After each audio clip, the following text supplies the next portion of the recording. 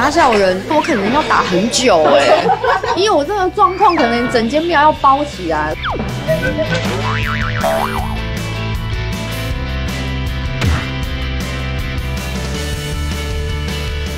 其实你真的就是也不不怕事，可是事情可能会来找你。可能我自己给人家的感觉，别人就会觉得说你不惹事，事情也会来找你。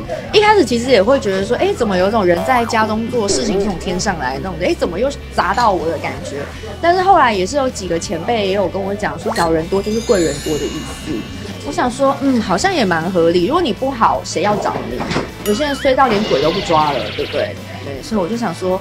好啦，就是其实也是一种动力。我的粉丝都比我还担心，然后他们那时候还有人说：“哎，你要不要什么打小人的法宝？然后我们可以寄给你。”然后还真的有人寄给我打小人那个有使用吗？我觉得我可能要打很久哎，因为我这个状况可能整间庙要包起来。说：“哎，不好意思，后面那个预约的你们都先不要进来，这边有一个重症的，还是那个。”棍子肯定要大一点，还是什么之类的。你收到那些恐怖的讯息，就是人身攻击的，超多哎！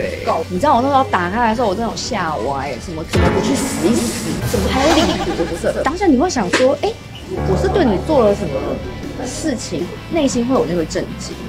就想说，哎，我是杀人放火，还是踩了他祖坟？但我就觉得他一定不是只对我一个人这样，只是那个当下他觉得那是一个出口。所以我当下看完，其实我觉得全部这些人我都拉黑，因为我觉得这种人最大的惩罚就是他找不到你，他就觉得，哎，我怎么连想骂他都找不到他。